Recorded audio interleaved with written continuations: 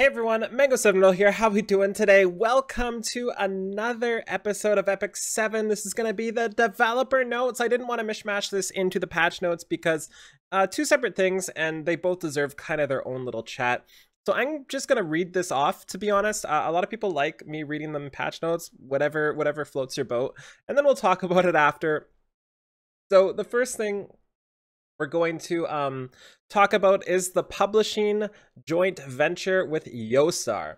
So it says at the event in Japan last Saturday, Yostar announced their joint publishing of the Japanese service of E7 alongside Smilegate. E7 received attention from a number of J JP publishers, but Yostar deeply impressed us with their broad understanding of the game and commitment to providing the best service to our heirs.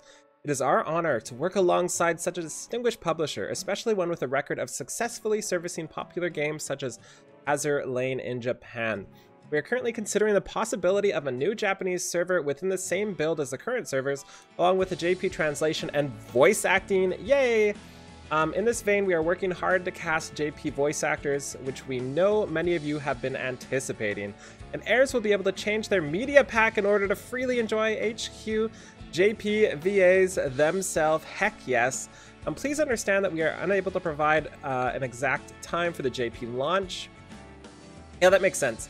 Um, that's so exciting. So a lot of people have been kind of wondering where the JP server is. Like in all honesty, if your game is popular and it's not in Japan, what are you doing, right? Like get it to Japan, get their money, and let's go. Um, for those of you who don't know, uh, it says it here, but Yostar is who is running Azur Lane right now. I think the North American version, I may be wrong, but they have done a tremendous job. Um, the best part about Azur Lane was just their community team and Yostar themselves. They were so fantastic. Um, everything was ran great. The um, everything was awesome, like super awesome. I, I'm super a big fan of Yostar, so that is great if it is my understanding, like the server I played on those people that did run that one, I think it is, but I might be wrong. Um, also, Epic 7's first collab planned for April 25th.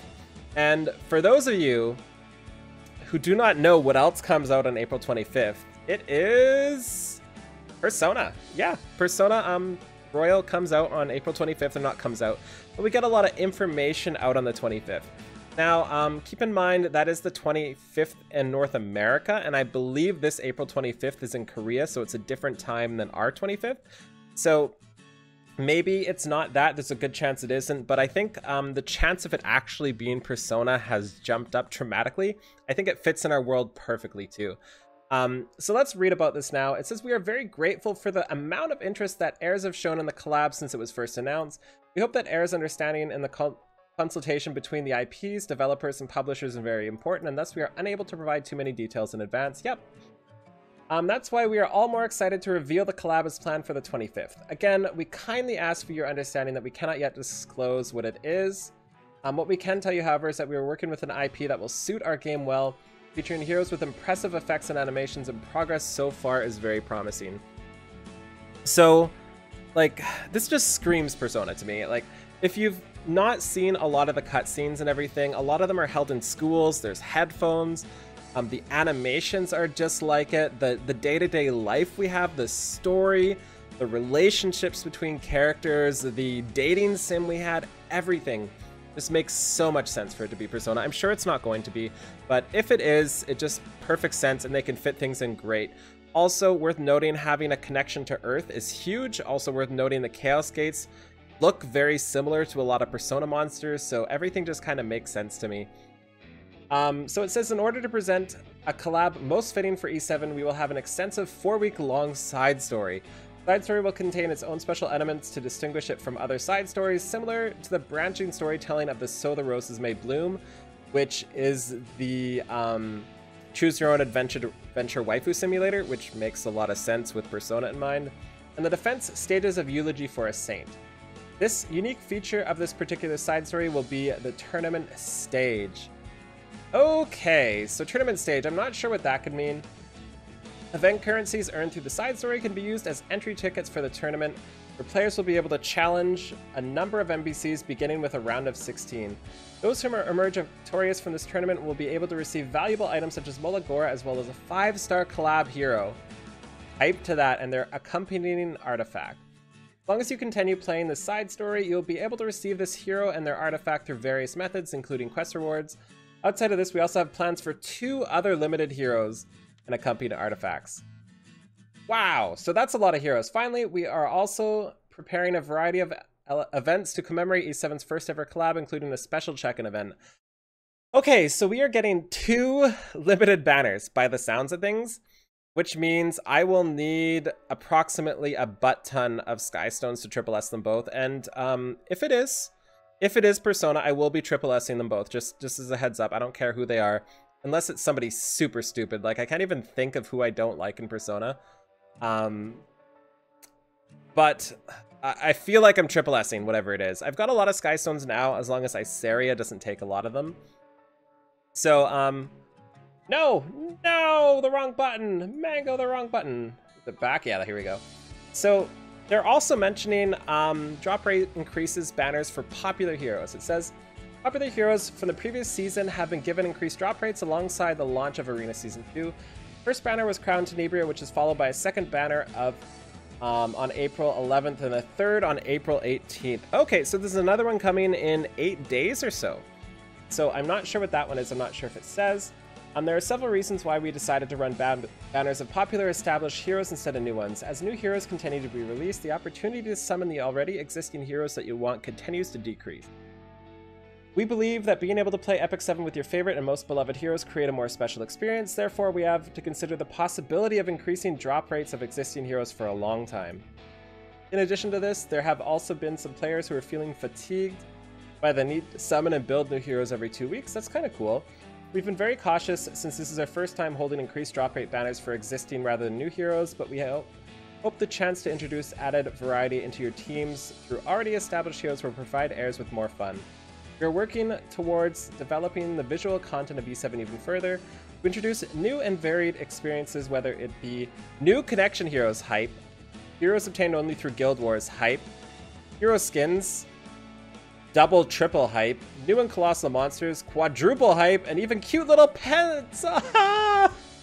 Why would they just sneak all this in one line? They're like, here's a bunch of not so meaningful information. Bam, everything at once. This is this is the good this is the good line right here. Um, hero skins. This is something I was never sure if they would do. Um, honestly, just because everything is so well done in this game, to get a hero skin in this game is actually massive. And I cannot see them giving a hero a skin without actually changing their special animation too. Um, and without giving them new voices. So this is why I really, really, really, really feel like these are going to be done well and they're going to be expensive too. So I'm, I'm really excited for these. And I hope this is the way they go instead of the artifact selling pack and the, the equipment selling pack. Wow, okay, so that's that's exciting. Um, skins, Colossus monsters, cute little pets. Ha, I'm so excited. I also forgot to mention, I just wanted to talk about pets just a little bit longer because they are so important to me. Um, I honestly think pets are going to be kind of like they were in Final Blade. So if you've played Final Blade, there's a pack you can buy once a month called the Fairy Pack. This pack costs about five bucks. Um, and I just picked stuff up for you along the stage. It's pretty much a must buy. Like you have to buy it in that game to really compete. Only four bucks a month. It was like a monthly subscription. And I think they're going to do something like that here, although I don't think it'll be as dramatic. So what I expect is just um, having a little dude or dudette or whatever gender or whatever type of animal your pet is on the screen, and they're just going to wander around and open up chests for you. Um, I don't think they're going to be much more than that. I think maybe they'll have effects for the labyrinth. So, for example, um, something really cool we could see is a pet could have like 10% more damage dealt in the lab or 10% less um, morale used or um, a pet could add to morale during camping because you could pet them or something like that. There's so many different options. Um, people were wanting me to mention if I think they're going to be pay to win or not. I, I, am hoping they're not stat related, and I hope um, it's just like a skin you can put on them. Like you can skin it to whatever you want, and we get the bonuses elsewhere. But I guess we'll see uh, in the future. They're definitely going to open chests for us, though, and click shrines and everything. Um, so yeah, back to our schedule here. Anyways, that's about it for today. Let me know in the comments below what you think this collab is. Do you have any ideas, any thoughts? Do you hope it's Persona? If it's Persona, which three characters might we get? I imagine we get a main character. I also imagine we would get um, somebody like on. Um, I also imagine we would get, I don't even know who else, Morgana? That would be so weird though. Anyways, thank you so much. Have a wonderful day. I'll talk to you later. Bye!